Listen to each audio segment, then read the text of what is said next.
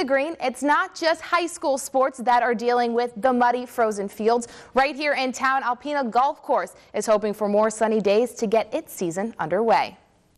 You know, you get to that that time of year when things should be getting going and, and you're kind of sitting and waiting on things and so that can get a little frustrating. The course normally opens around Easter with the front nine holes ready first and although it might seem like a problem, a mid-April start has its pros as well as its cons. You know, in the spring everybody's ready to play so we get the golf course open and, and you know it could be 40 degrees and, and people will be out here playing. A cool fall does hurt us really more than a than you know having snow stick around you. Obviously that's good and, and financially for, for the whole golf course, but there's also expenses to that too. Throughout the summer months, Goike and his crew work 55 to 60 hour weeks and are currently prepping the course's equipment to take care of already known problems. The month of March, we didn't get any thaw, hardly at all.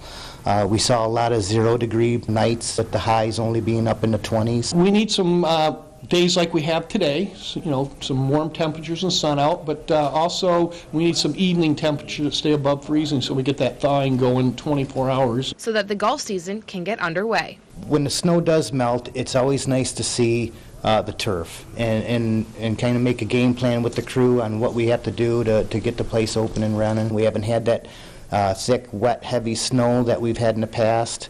We haven't had ice storms that damage trees, so uh, I'm looking for a, a, fast cleanup this year, uh, and hopefully that'll happen. And for golfers that participate in the City Open, it is going back to its old format this year, with the first round being played at Alpena Golf Course and the second at River's Edge. WBKB will obviously provide you with more information this summer.